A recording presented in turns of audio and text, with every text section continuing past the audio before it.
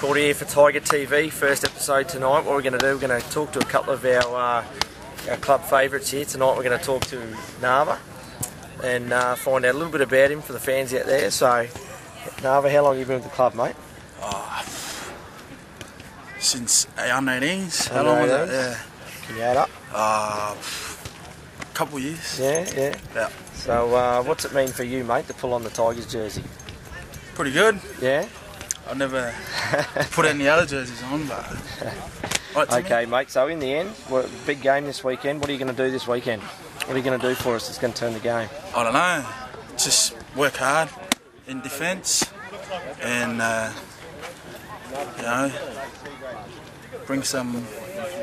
Yeah, that's about it. Work hard in defence, talk, work for the boys. So, to this point, mate, what's your what's your best memory playing for the Tigers? Oh, best memory would have to be under 18s when we played uh, South Burnett with only nine players, I think.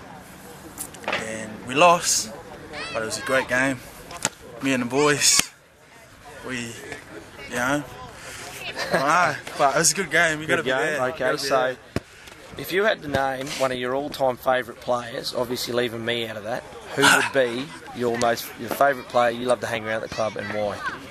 Um, love to be Steve, cause he's real laid back, you know. Doesn't really get into the Man's man. yeah, you Man's know. man. Really get into the Josh Roberts taking his clothes off and stuff like that.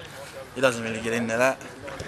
But me and him just hang out in the back, you know. Pretty cool, calm and collected. Yep, He's your favourite man, is he? yeah, Out of all the years you've played here, that's pretty good. Eh, Me and Steve good. go way back, you know. All right, what about favourite coach? Obviously, we're going to pull out, you know, forget any coaches you got now because that'll just be sucking ass. So let's just tell us, other than the coaches you're playing for this year, who's been one of your favourite coaches you've played for? Have to be Mick Newton. He's was my first coach under 18s. It's pretty handy seeing as he's coach this year too. Yeah, I've always liked Mick, but Just don't like his sons. nah, I like one of his sons, not Tim. No, Tim is, as I said, Tim's a bit.